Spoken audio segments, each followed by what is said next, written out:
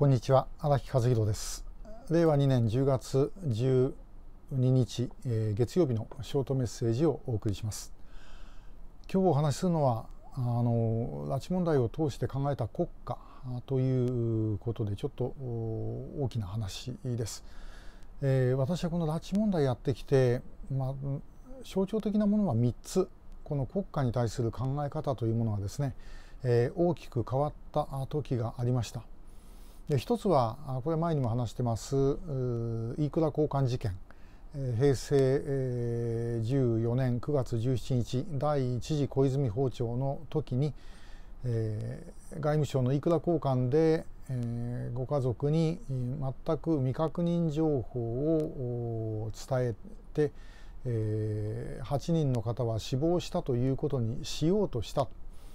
えー、これはあの分かんなかったわけではなくて、えー、しようとしたという明らかに、まあ、国家による犯罪のようなことがございました。これが1点でございます。えー、もう一つ、えー、それでまあしかし曽我さんが出てきてで、えー、うちも拉致なんじゃないかというご家族がですね声を上げるようになったでこれがまあどんどん多くなってきてで、えー、翌年の1月10日に、まあ、救う会からこの失踪者に関する活動を分離して特定失踪者問題調査会を作ることになりました。で、えー、1月10日あの、まあ、結成と同時に第1回のあの第一次発表を40人行いました。で私は、まあ、40人も出せば10人ぐらい見つかるだろうというふうに正直言って思っておりました。でしかもこの日はえー、NHK が特番を組んで、えー、私がその40人の名前とデータを読み上げるのをもう全部そのままあ生放送で、えー、流してくれました。それからあ他のテレビあるいは新聞もですねこれ詳しく報道してくれました。まあ、これでだけやればですね日本国内で目にしない人というのはあんまりいないんじゃないかと いうことだったんですがあ40人の中でですね、えー、見つかった人は一人もいませんでした。で後で何年かしてからあお一人、えー、見つかるんですけれどもともかくその時はですね、えー、40人誰も出てこなかったでお一人だけ、えー、ごあのご家族に電話があって、えー、探さないでくださいと言ったという話がありますけどもこれも本人かどうか確認が、えー、できません。で2回目の発表を2月10日にやりましたこの時44人だったと思いますがこの時は2人見つかりました。それでも84人出して2人ですから、えー、一体どうなってるんだろうとこれ何ということなんだろうというふうに思った、えー、底なし沼にですね足を突っ込んでいくような感覚だったことを今でも覚えています。でこれやってて一体この国って何だったんだということをですね本当に思いました。で、えこの中に例えばもし数人だったとしても拉致被害者といたとしたらばその人たちは完全に見捨てられてきたということになります。人数がもっと多ければですねさらにそのインパクトは大きいわけで、えー、なんでこうなってきたんだろうなということをですね本当に感じました。一体自分がどこまでやんなきゃいけないのかということですねちょっとぞっとした覚えがあります。3つ目が山本美穂さんの DNA データ偽装事件です。えー、警察が家族を偽ってそして、えー、DNA のデータを偽造してですね拉致をもみ消そうとするというようなこと自体こんなもんとんでもない話ですけども逆にとんでもない話であったからこそ一生懸命今でもこれのもみ消しを図っているというのが現状です。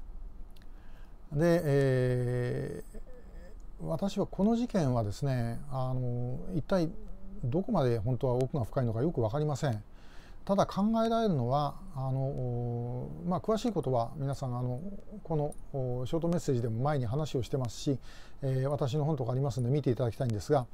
あの山本美穂さんの もし、えー、拉致ではなくて、えー、例えば自殺とかあるいは別件の殺人事件とかいうようなことだったとしますあるいは本人がもちろん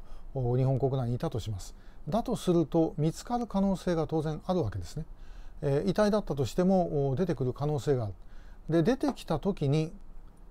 あのあれこれ山本美穂さんじゃないかとそうするとあの警察の発表したあの遺体は何なんだっていう話になってきますで DNA が合うはずないのに合ってるじゃないかということになりますで、えー、しかしあれを出したということはそうなる可能性がないというふうに断定したからこそなった可能性があるとするとその可能性というのは警察あるいはもっと上のところでこの事件について知っているということです。一番分かりやすいのは北朝鮮に本人がいるということを日本政府が知っていると。北朝鮮にいれば本人の DNA がどこかから出てくるという可能性はありえません。ですから安心して偽造ができるということだったのではないかと思います。えー、まああのこんなような事件をですね、まあ、似たようなことっていうのは他の特定失踪者の事件でも山ほど実はあるんです。えー、まだ表に出してないこともいろいろございます。で本当にですねあのそれまで少なくとも9.17小泉訪朝の前まで私はあまあ怠慢はあっても真面目にやってないとか遅い遅いとかですねそういうことはあったにしても隠したいとかですね、えー、そういうことをしているとまではさすがに思っていなかったんですが、まあ、改めて、まあ、これらのことを経験して、えーまあ、国家というものに対する見方が本当に完全に変わってしまいました。